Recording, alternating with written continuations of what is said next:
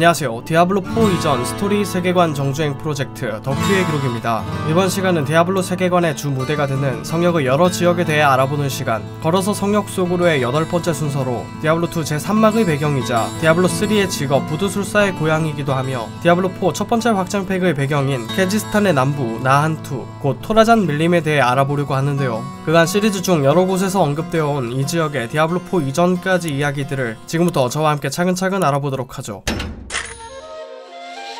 토라잔 밀림 동부대륙 남서쪽 켈지스탄 남부에 위치한 이곳은 자극적이고 위험한 동식물들이 가득한 거대하고 푸르른 밀림지대입니다. 외부인에게는 토라잔 혹은 토라자라는 이름으로 알려져 있지만 현지인들은 이 지역을 나한투라고 부른다고 하며 마법의 영향으로 거대하고 위험한 능력을 지니게 된 이곳의 동식물들은 과거 마법단 전쟁의 결과물이라고 해요. 또 이곳에는 아즈텍 문명과 아마존 강에서 모티브를 얻은 것으로 보이는 성역에서 가장 길고 넓은 강인 아젠텍 강이 흘러가며 이 강물은 수백 개의 작은 강과 지류가 무성 조성한 열대 숲을 통과하여 케지스탄의 정글로 공급된다고 합니다. 케인의 기록에 따르면 이곳에서는 과거로부터 여러 문명이 탄생했으나 오랜 시간이 흐르며 대부분 몰락해버렸다고 하는데요. 과거에는 수많은 외부 방문객들이 거쳐간 토라자라는 이름의 도시도 존재했었으나 죄악의 전쟁의 여파로 그 도시는 파괴되었다고 합니다. 또 폐허가 되어버린 고대 케지스탄 제국의 첫 번째 수도 비즈준과 두 번째 수도였던 쿠라스트도 이 지역에 있었지만 현재는 디아블로3의 직업 부두술사의 부족인 움바루 부족만이 토라잔의 테간제 지역을 거점으로 쓸쓸하게 살고 있다고 하죠. 참고로 디아블로4 첫 확장 팩 증오의 그릇의 data mining 유출 정보에 따르면 이 지역을 거점으로 하는 Spiritborn이라는 신규 직업이 등장하며 그들은 창과 방패를 기반으로 영적인 자연 기술을 사용하는 자들이라고 하는데요. 그렇게 마치 기존의 부두술사와 드루이드 또 아마존이 합쳐진 듯한 직업이 나올 수도 있을 것 같습니다.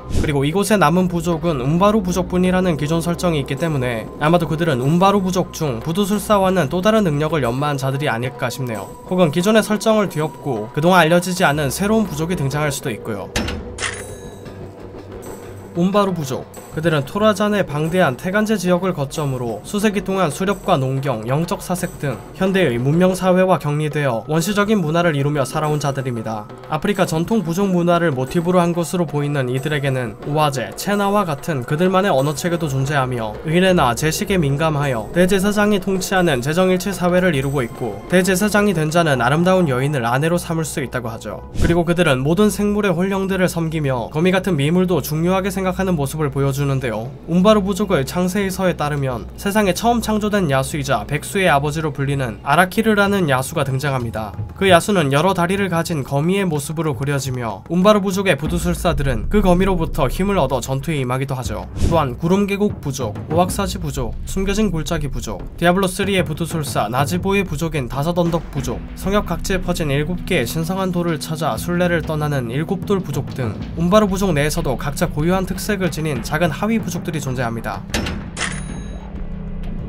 그렇게 각자 고유한 특색을 지닌 하위 부족들 사이에서도 하나의 커다란 신앙이 동일하게 공유되는데요. 운바로 부족에게 가장 영향력 있는 신앙은 형상이 없는 땅이라는 뜻의 은비루 에이쿠라 신앙입니다. 은비루 에이쿠라는 모든 생명체의 홀령이 흘러가는 홀령계로 쉽게 말해 내세의 세상인데요. 그들의 신앙에 따르면 현실 세계는 그저 형상이 없는 땅의 장막이자 그림자이며 더 높은 곳으로 승천하기 위한 시험장일 뿐이기 때문에 그들은 진정한 현실인 형상이 없는 땅을 위해서는 죽음도 불사하는 극단적인 사상을 가지고 있죠.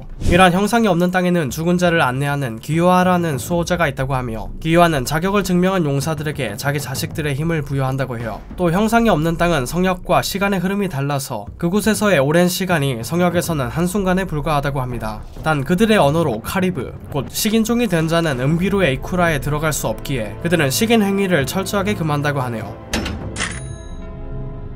운바르 부족에게는 영혼의 수확이라는 뜻의 이가니 바웨라는 풍습이 존재하는데요. 이는 형상이 없는 땅의 신성한 홀령들을 위해 현실에서 부족 전쟁을 벌여 패배한 자들을 포로로 잡아 산재물로 바치는 인신공양 풍습입니다. 그렇게 재물을 바치면 현실 세계의 기후와 날씨가 좋아져 작물들이 잘 자란다는 믿음과 나중에 은비로 에이쿠라로 갈 자들을 위해 그 영역에 에너지를 공급한다는 의미가 담겨 있다고 하는데요. 그들에게 이가니 바웨에서의 전투는 마치 의식과도 같은 행위이며 서로 존경과 명예 그리고 찬사 성사를 얻기 위한 경쟁이기 때문에 패배한 쪽에서도 스스로 재물이 되어 희생되는 것을 명예롭게 여긴다고 해요. 그래서 그들에게는 삶은 희생이다 라는 말에 희생은 삶이다 라고 응수하는 인사말도 존재한다고 합니다. 또한 이간이 바회는 전통적으로 절기 사이에 개최되며 해가 뜰 때 시작해서 해가 지면 끝이 나는데요. 전투에서 생포한 적만 공략물로 사용하기 때문에 서로 죽이는 것이 아니라 무력화시키고 포획하는 것이 목적이며 오히려 의식 중 적을 살해하는 것은 절대적으로 금기되는 사항이라고 해요. 또 이간이 바회 동안은 영혼을 혼란스럽게 한다는 이유로 훈령 상태에 들어가는 것을 금지하는 규칙도 있었죠. 전투가 끝나면 그들은 마지막 행진이라는 뜻의 태왕 누차를 진행하는데요. 이는 전투에서 끌고 온 재물이 될 포로를 부족민들이 모두 보는 앞에서 공개적으로 처형하는 의식입니다. 그렇게 재물의 피와 장기는 기름을 발라 형상이 없는 땅의 홀령들에게 바치고 주민들은 이 광경을 보며 한이에 차서 박수를 치고 눈물을 보이기도 하는데 이런 광기 어린 원시 사회가 바로 이 운바루 부족의 모습이었죠. 하지만 이러한 풍습은 사실 불필요하고 잘못된 전통이었습니다. 훌령들은 사실 그 어떤 희생도 재물도 원하지 않았었죠. 그간 부족에 전해 내려오던 풍습들은 전부 진실을 숨기기 위한 부패한 장로들의 안전장치에 불과했으며 이간이 바위는 장로들이 권력을 지키기 위해 만들어낸 공포와 통제를 이용한 암묵적인 노예제도였던 것입니다. 디아블로3의 부두술사인 나지보는 본래 다섯 언덕 부족의 일원이었으나 이러한 홀령들의 참뜻과 장로들의 악행을 깨닫고는 악습을 끊기 위해 부족의 풍습을 반대하다 고향에서 이단자로 여겨졌는데요. 이러한 나지보를 유일하게 믿어주었던 부두술사 베누는 당시 부족들 사이에서 시긴을 조장하던 악마와 싸우다 죽었지만 동족들이 이간이 바회로 더 이상 희생되지 않도록 홀령이 되어서도 진실을 외치고 있다고 합니다. 디아블로3 시점에서는 이러한 진실에 귀를 기울이게 된 젊은 부두술사들이 점차 많아지며 웅바르 부족 사회가 격변의 시기에 처한 상태였는데요. 그로부터 50년이 지난 디아블로4의 시대에서 이들이 어떤 선택을 했을지는 다가오는 첫 번째 확장팩에서 만나볼 수 있겠습니다.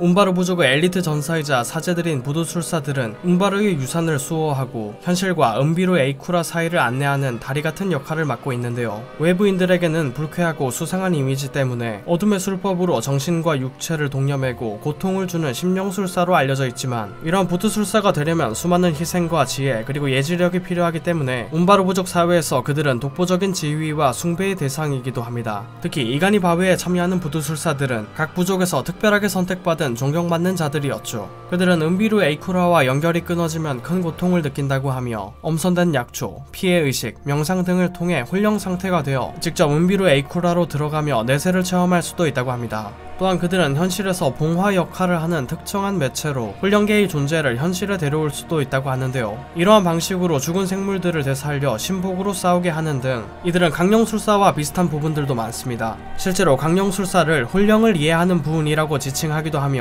강령술사들의 신이자 성역의 수호자인 드래굴에 대한 지식도 있는 등 서로 통하는 부분이 많죠. 특별히 움바루의 오악사지 부족에서는 부족의 유망한 아이를 깊은 밀림으로 보내 깃털 달린 거대한 뱀의 심판을 받게 하여 살아서 돌아오면 신성한 기술을 가르치는 전통이 있는데 이 깃털 달린 거대한 뱀은 강령술사들이 설명하는 드래굴과도 상당히 닮아 있는 모습입니다. 세계관 속 주요 몬스터 중 하나로 등장하는 염소인간 카즈라는 원래 이 테간제의 상류 지역에 살던 움바루 부족의 일부였는데요. 약 2000년 전 마법단 전쟁 당시 비제레이 마법단은 그들을 군대로 사용하려 했습니다. 하지만 그들은 격렬하게 저항했고 이 저항 과정에서 알게 된 염소인간이 되는 저주를 자신들에게 사용하여 비제레이의 침공을 막아낼 수 있었죠.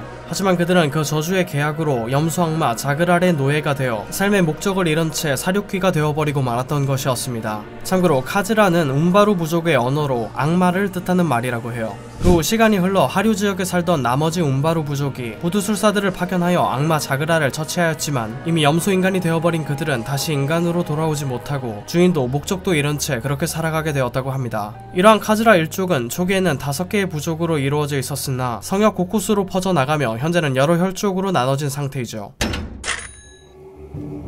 케지스탄 제국의 남부 나한투의 중심부에 위치한 도시 쿠라스트는 요새화된 자카롬 사원 트라빈칼을 중심으로 형성된 자카롬교의 거대한 도시로 마야, 잉카, 아즈텍과 같은 중남미 문명을 모티브로 한 지역입니다. 이곳은 케지스탄역 1265년 하칸 1세 칼데움 천도 전까지 약 200년간 케지스탄 제국의 수도이기도 했는데요. 케지스탄역 1017년 어둠의 유배와 호라드림의 대악마 사냥 이후 메피스토를 사파이어 영혼석에 봉인한 초대 호라드림은 그 영혼석을 한때 작고 초라한 위험한 종교단체였던 자카룸에게 맡겼습니다. 당시에 타락과 편협이 좀먹던 사회에서 서민층에게 자율과 평등을 설파하며 갑작스럽게 명성을 떨치게 된 자카룸에는 몇 달 만에 수많은 사람들이 몰려들었고 메피스토의 영혼석을 지키기 위해 사원을 짓던 그들은 단 한 해 만에 트라빈칼이라는 거대한 사원을 건축할 수 있었죠. 이후 그 주변으로 점차 규모가 커지던 쿠라스트는 동부 문명의 중심지를 이루는 웅대한 사원 도시로 발전하게 되었으며 케지스탄 역 1042년 쿠라스트는 타사라 황제에 의해 동부대륙 최대 국가인 케지스탄 제국의 두 번째 수도가 되었습니다. 참고로 타사라 황제는 자카롬교를 국교로 공인하며 교리를 성문화하고 자카롬교의 교황인 최초의 쿠에히간을 세워 그를 중심으로 한 대의회 소속의 대주교로 지방 통치 체제를 만들어낸 인물이었으며 포교를 명령으로 라키스에게 서부 원정을 명령한 장본인이기도 했죠. 아름답고 웅장한 도시로 유명했던 쿠라스트는 한때 인류 문명의 중심지로 여겨졌는데요. 쿠라스트 출신인 메시프는 이곳에 대해 세상에서 가장 위대한 도시라고 언급하였으며 데커드 케인 역시 눈부시게 아름다웠다는 감상평을 남겼죠. 참고로 디아블로2 in-game에서 마을로 이용되는 쿠라스트 부두는 도시의 지극히 작은 부분일 뿐 쿠라스트의 전체 규모는 남부, 시장, 북부, 그리고 두 길로 연결된 트라빈칼의 사원지구와 도시를 이어주는 대규모 하수도까지 굉장히 거대했습니다. 당시 루트 골레인 디자인을 실제 설정보다 축소하여 구현하던 시절에도 이 쿠라스트만큼은 대규모로 구현했던 걸 보면 이 도시의 위상이 실로 대단했다는 것을 알 수 있죠. 하지만 그 명성이 무색하게도 디아블로2에서 메피스토에 의해 도시 전체가 타락하여 몰락한 후로 쿠라스트에는 변질된 동식물과 타락한 광신도들의 학살로 인한 시체의 산과 피의 강이 만들어졌습니다. 생존자들은 상업의 요충지였던 칼데움으로 대부분 이주하였으며 쿠라스트는 그렇게 부랑자들과 무법자들이 가득한 폐허가 되어버렸죠. 그리고 이제 디아블로4의 시대에서는 확장팩 증오의 그릇에서 돌아온 댕피스토가 이곳으로 향하며 또다시 암울한 그림자가 드리운 상태입니다. 위대한 사원이라 불리는 고대 도시 비주주는 쿠라스트 이전 제국의 중심지 역할을 수천 년간 맡아온 케지스탄 제국의 첫 번째 수도였습니다. 당시 비제레이 마법단의 거점이기도 했던 이곳은 마법단 전쟁의 격전지가 되어 전쟁 이후엔 폐허가 되어버리고 말았죠. 그 전쟁의 여파로 도시 주변의 숲은 과도한 마법 사용으로 인해 마법 에너지로 가득 차버렸고 그의 영향을 받은 생물들은 엄청난 크기로 성장하며 위험한 능력을 갖게 되었습니다. 그렇게 마법단 전쟁 이후 세상은 이전보다 더 마법을 극단적으로 경계하며 마법학자를 박해했고 마법 도서관과 마법단의 본거지는 공격당하기 일쑤였는데요. 일부 국가에서는 마법 사용을 금지하는 법률까지 통과되는 등 그야말로 마법 탄압의 시대가 열렸던 것이죠. 한편 비제레이 마법단의 지도층은 쇄신의 의미로 자가 감찰 기구를 신설했으니 비즈자크 타르라는 마법사 암살 단체였는데요. 그들은 악마 소환이나 금지된 연구 등 위험한 행동을 한 마법학자를 처단하는 기구였으며 마법으로 인한 타락을 막기 위해 마법과 관련된 모든 것이 금지되어 오로지 신체 단련과 장치만을 이용하여 위험한 마법학자들을 제압하였습니다. 이러한 상황 속에서 비주주는 과거 찬란했던 마법단의 상징이었고 전쟁의 발단이었던 비제레이 마법단의 거점이자 전쟁의 핵심 핵심 전장이었기 때문에 오랜 세월 방치되어 버렸는데요. 그러면서 세상 문화의 흐름은 자연스럽게 자카룸의 중심지였던 쿠라스트로 이동하게 되었죠. 곧 마법의 시대가 저물고 자카룸으로 대변되는 신앙의 시대가 불을 밝히게 된 것이었습니다. 자 이렇게 이번 시간에는 동부대륙 남부의 밀림지대 토라잔 밀림에 대해 알아봤는데요. 디아블로4의 첫 확장팩 증오의 그릇의 배경이 될 지역이었기에 여러모로 더 흥미로운 지역이었던 것 같습니다. 그럼 이번 여행이 즐거우셨다면 구독과 좋아요 부탁드리고요. 전 다음 여행에서 또 다른 진짜 이야기로 다시 찾아뵙도록 하겠습니다. 그럼 쿠라스트의 폐허를 지나 나한투로 떠나세요. 뀨?